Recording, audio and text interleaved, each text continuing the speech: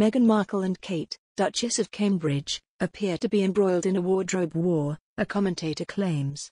Kate's bombshell outfit came after the Duchess was spotted wearing gym gear as she played a game of tennis doubles with Emma Raducanu.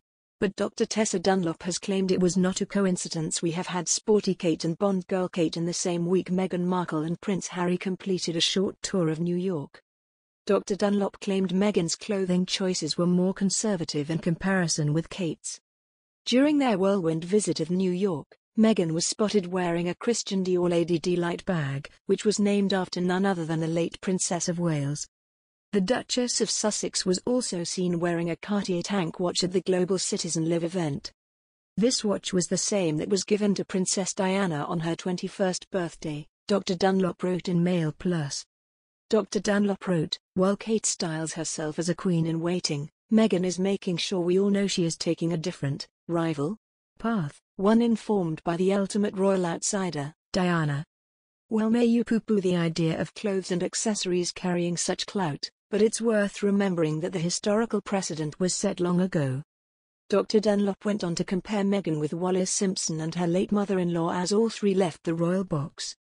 She wrote, like Wallis and Diana before her, Meghan is no longer in the royal box and unlikely to wear a golden gown, or a provocative lobster, but we can look forward to seeing much more of her and her wardrobe. The royal expert continued, if, like Diana, Meghan intends to do good without an HRH title, unlike Diana, who fell victim to the press, she is hell-bent on controlling her image. The paparazzi can get back in their box and, if Britain doesn't like it, too bad. Meghan is a global star who calls the shots. Small wonder that, back in Blighty, Kate resorted to Bond style, gold-plated armory, the mission was dressed to impress and she didn't disappoint.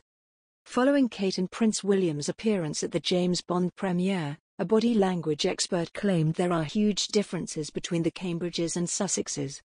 Body language expert believing Bruce claimed, when we look at the connecting nonverbal communication and subliminal gestures that exist between both couples, there is a huge difference between the supportive connection that lies between Kate and William and the submissive connection that exists between Harry and Meghan.